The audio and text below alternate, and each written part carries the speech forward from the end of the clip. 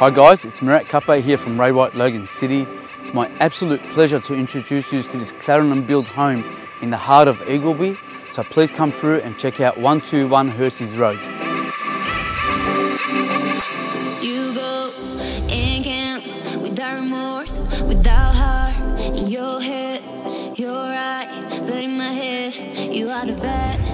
I wanna show to the world that you're the bad one. You always being bad. They use all my love, use all my time, use all my heart.